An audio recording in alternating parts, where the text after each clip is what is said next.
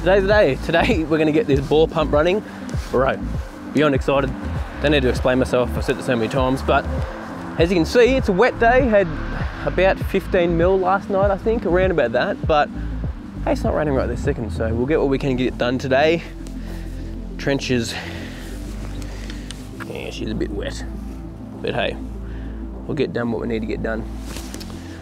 Everything's here, ready to go.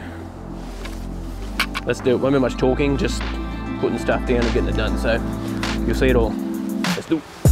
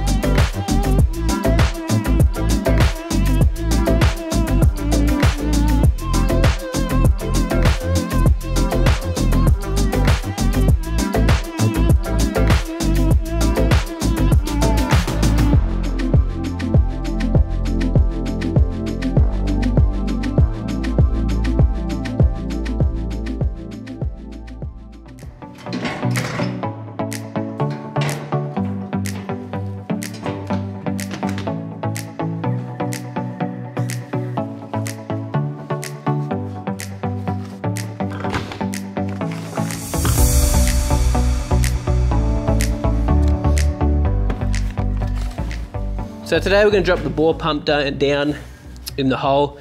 Exciting times me. Tell you what, had to wait for all that rain to clear so we could actually do it and hook up all the wires and everything. Huge shout out to Davey Pumps for sending me this and supplying this pump, this bore pump here. Australian company. Um, really appreciate, appreciate these guys sending us really good pumps as well. Having them old house um, for the old bore and it worked really, really well. Also a huge shout out to the guys at Irrigation Pumps and More organising this, setting all this up for me, getting Crusader hose for me to hook onto the bore pump and they even set up this little controller here. Everything like they've done, it's all come ready to go, basically just ready to drop down. So those guys are absolute legends. So shout out to those two, Davey and Schnitty and Irrigation Pumps and More.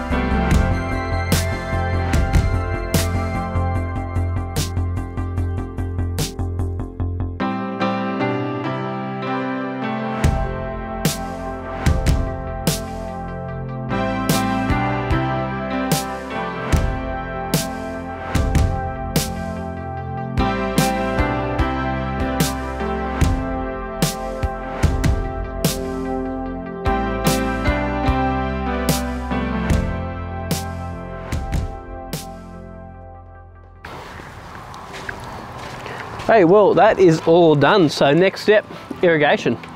So excited about this. Thank you so much to Ollie, my brother-in-law, for doing this for me, helping out with electrical, setting this all up. Could not have done it without him. Absolute legend. Um, and again, thanks to the guys at Dave and Irrigation Pumps and more. You guys are legends. Good to see that this thing, look, flicker on. She's a goer. Not heaps of flow, but enough to fill up some tanks. So, so, so good. Us.